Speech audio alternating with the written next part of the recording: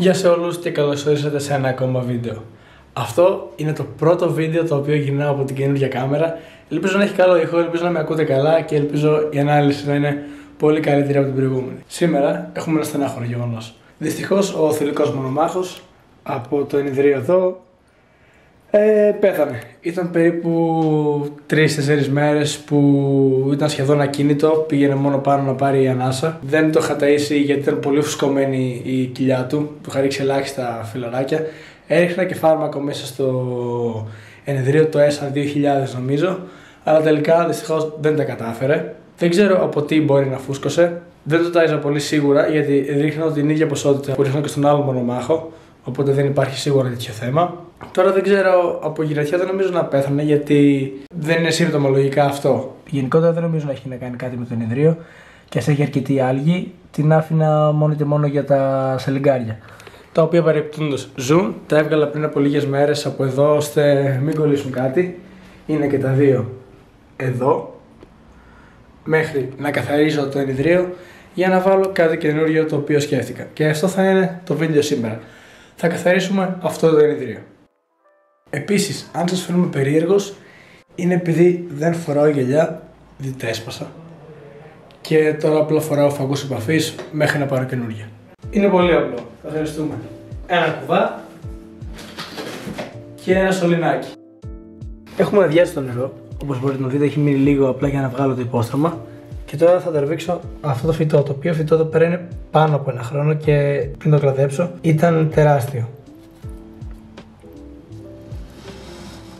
Οι ρίζες του πρέπει να είναι πολύ μεγάλες και όντως έχει μεγάλη αντίσταση. Απλά δείτε, χωράγαν όλες αυτές. Λοιπόν, έχω έρθει έξω, έχω φέρει εδώ το ιδρύο γιατί μέσα θα κάνουμε όλα χάλια ώστε να το πλύνω και να το καθαρίσω. Έβαλα την πρίζα εδώ πάνω και ήρθε η ώρα να το γεμίσουμε με νερό. Πρέπει να ανοίξουμε το λάστιχο. Έχει και κρύο το μεταξύ, πάμε βρέξει και απλά θα το αφήσω να γεμίσει για να καθαρίσει τη χώματα από την άλλη.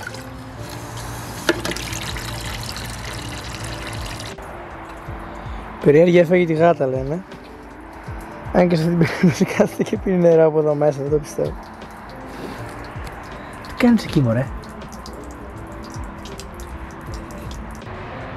Και από ό,τι βλέπετε έχουμε και κοινό που μας παρακολουθεί.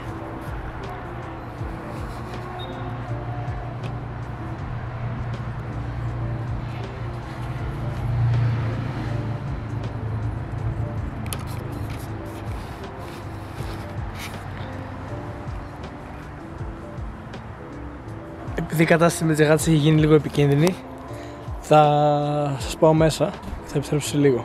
Φοβάμαι βασικά μην μου ρίξουν την κάμερα. Έχουμε εδώ το ενιδρίο, το οποίο θέλει λίγο ξύσιμο το γυαλί για να φύγει λίγη άλγη που έμεινε. Θα το κάνω μέσα επειδή βρέχει και έχουμε και εδώ το υπόστρωμα.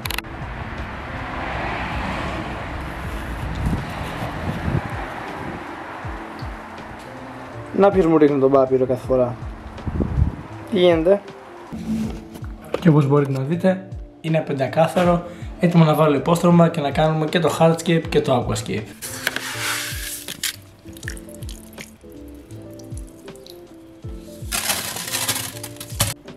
Έχει μπει το φίλτρο και τώρα ψάχνω έναν τρόπο για να βάλω αυτές τις πέτρες. Και τώρα σας αναρωτιέστε γιατί θέλω να βάλω αυτές τις πέτρες και η απάντηση θα έρθει σε ένα επόμενο βίντεο.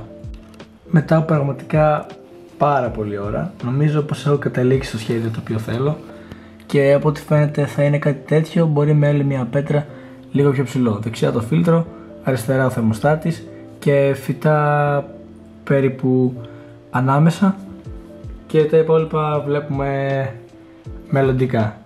Νομίζω σιγά σιγά καταλαβαίνετε πολύ καλά τι θα βάλω. Επιτέλους μετά από αρκετή ώρα βρήκα πως θέλω να στερεώσω τους βράχους. Έβαλα και το φυτό σχεδόν στην θέση που ήταν πριν. Έχουμε θερμοστάτη, έχουμε φίλτρο. Έχουμε εδώ πέρα την τελευταία την ε, πέτρα η οποία είναι επιφάνεια. Έχει και μερικά άλλα εξογκώματα. Και ήρθε η ώρα να γεμίσουμε νερό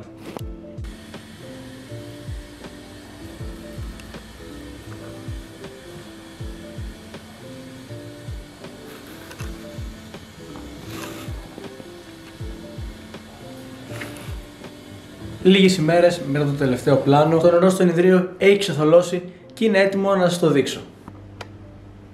Αυτή τη στιγμή έχει τις πέτρες οι οποίες νομίζω είναι λίγο υπερβολικές, δηλαδή αν μπορούσα να κάνω μια αλλαγή σίγουρα θα την έκανα.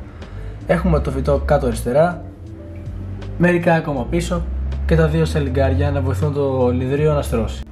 Το έχω γεμίσει λίγο παραπάνω, θέλω το νερό να σταματάει εκεί που ξεκινάει η τελευταία πέτρα γιατί όπως καταλάβατε δεν υπάρχει λόγος να το κρύβω, σκέφτομαι να πάρω μία χελώνα. Βασικά ξέρω ότι ο χώρος είναι λίγο μικρός, αλλά εννοείται πως με το που μεγαλώσει λίγο θα αλλάξει και ο χώρος. Ούτως ή άλλως θέλω επί το πλήστο να τις έχω έξω με συγκεκριμένο χώρο ώστε το χειμώνα να πέφτουν και στη χειμερινή άρκη. Θέλω να το κάνω εντελώς φυσικό, αλλά αν δεν λειτουργήσει έτσι, σίγουρα θα το κάνω διαφορετικά. Άρα λοιπόν το μέρος θα είναι προσωρινό.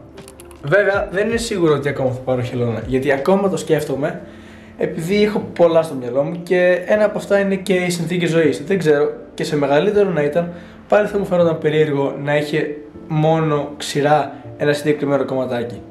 Ίσως αν μπορούσα να βρω έναν τρόπο ώστε να βάλω και χώμα μέσα στην ιδρύο να μπαίνει και να χώνεται, θα ήταν πολύ καλύτερα. Σκέφτομαι ίσως να βάλω κάποιο δοχείο που να έχει χώμα αριστερά από την πέτρα, αλλά δεν είμαι ακόμα σίγουρος. Θέλω να μου πείτε τη γνώμη σας, θέλω να μου πείτε τις απόψεις σας.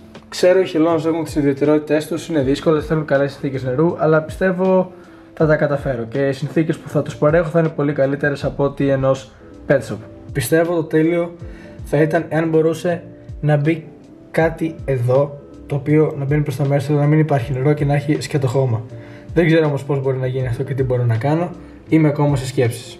Πείτε μου, εκτός από χελώνα και μονομάχο, τι άλλα ψάρια θα μπορούσα να βάλω εδώ; Σκέφτομαι ίσως να βάλω τα White Cloud Minos, αλλά είναι μόνο τρία και πιστεύω είναι καλά εκεί που είναι, επειδή σύλλογο και ώρα θα πάω έξω. Ή να πάρω κι άλλα, δεν ξέρω. Πείτε μου τη γνώμη σας. Ο μονομάχο είναι μια χαρά σε άλλα νέα. Όσο πάει και μεγαλώνει, γίνεται όλο και πιο ενεργητικός, μπορείτε να δείτε τα χρώματά του, είναι απλά πανέμορφος. Σας ευχαριστώ που παρακολουθήσατε ένα ακόμα βίντεο. Εάν σας άρεσε μην ξεχάσετε να κάνετε μία εγγραφή, ένα like και φυσικά να γράψετε ένα σχόλιο για να μου πείτε τη γνώμη σας σχετικά με το ενιδρίο το οποίο φτιάχνω πίσω μου. Θα τα πούμε σε κάποιο επόμενο βίντεο. Γεια σας.